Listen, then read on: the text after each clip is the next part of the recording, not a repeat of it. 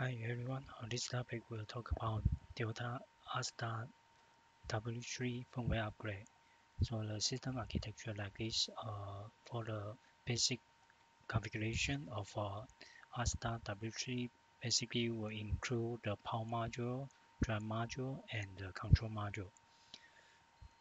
And the default IP address of control module will be uh, 192.168.0.200. Okay, then the firmware upgrade procedure. W uh, start W3 uh, will auto power recycle when you see the upgrade. Okay, basically uh, when you do the procedure, you will see this one uh, download OK. So the first, uh, we have to select the firmware. Second, uh, you can see here we have the firmware package. You can click either uh, yes or no. A vote yes is uh, to upgrade all modules on the uh, show over here. And if you want just want to upgrade certain modules, then you can select no. So here you can also see that if you click yes, then all is disabled. You cannot select anything. And after uh, when you see the download OK, you will see upgrade OK. So just make sure when you see uh, this one, please uh, power recycle and click OK. Now we'll move to the software part.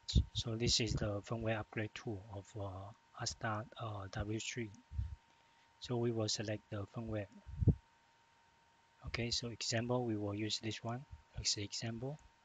Then uh, remember, uh, click uh, yes and if you click no will show like this. So you can select individual one which one you want to update. Okay. So now we will show with the yes. And then click uh, press to download. So basically th this will take some time. So I'll just uh, keep uh, waiting uh, patiently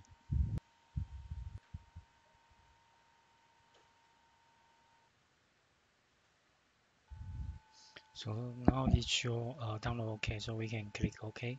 So you will see upgrade OK. Then we have to uh, power recycle the drive. Okay, then we can uh, go through here. So after our power recycle, then we have to set the control module parameters uh, P2 uh, uh, 008 to 30 and 28. Then uh, power recycle again. Okay, so now we will switch to the ASDA-Soft okay so we switch online? Okay and we can uh, read the parameter backs again. Okay so after that we will move to the control module. So go to uh, P2 uh, double o eight. Then we set the 30 then uh, 28 and then you will see uh, 39 so we have to uh, power recycle drive again. Uh, then you may wonder how to check uh, whether the firmware upgrade is uh, successful or not. So basically uh, we have to check some um, parameters. So here you will see we will have a three module. As I mentioned earlier we will include the power module drive module and control module. So so this is the example that I will show as I made, uh, as you can see, this is the firmware version uh, information like uh, 5006, then uh, subversion uh, 1675 uh, dot uh, 1e, etc. Okay. So here you will see like this. Okay, so now we can uh, switch to the ASDA-Soft again. Then uh, switch online. Okay, then uh, we can check the version. So you can see uh, 1675 uh, then 30 as mentioned over here.